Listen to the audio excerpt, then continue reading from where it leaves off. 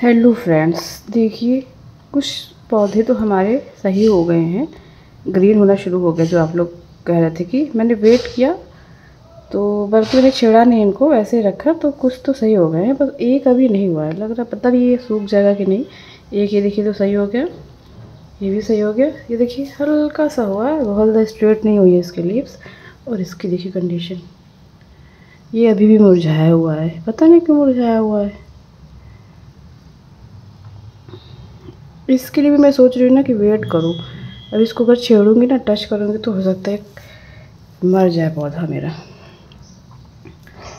अभी मैंने इसको वाटरिंग नहीं की है आज, क्योंकि इसमें काफ़ी पानी है तो हो सकता है ओवर वाटरिंग की वजह से ऐसा हो रहा हो।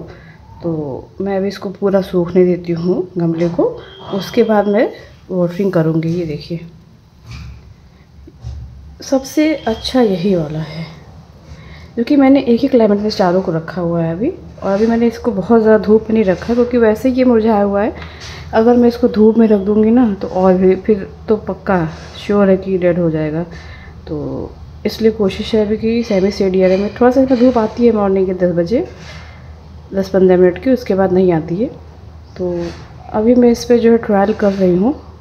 वैसे मेरे साथ ऐसा होता नहीं पता नहीं क्यों जस थोड़ा सा यहाँ पे देख रहे हैं कि पौधे में या तो ज़्यादा धूप लग रही है या फिर बहुत कम लग रही है। तो मेरे सारे पौधे बहुत ज़्यादा ग्रोथ नहीं कर रहे हैं। देख रहे हैं?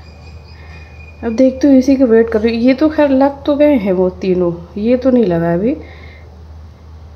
और ये देखिए टॉप का थोड़ा सा एक दो ये सही लग रहा है, बाकी थोड़ा सा मुरझाया हुआ है।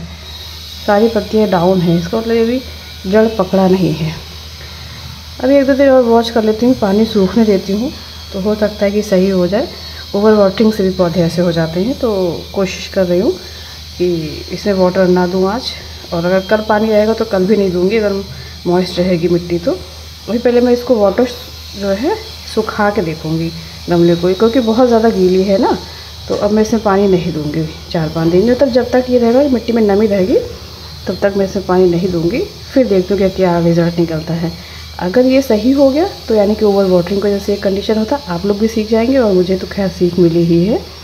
तो इसीलिए मैं वीडियो को अपडेट करके आप लोग को दिखा रही हूँ शो कर रही हूँ ये, कि अगर आपके साथ ऐसी कभी सिचुएशन आए तो आप लोग मेरी जो वीडियो देख के अपनी समस्या का समाधान कर सकें।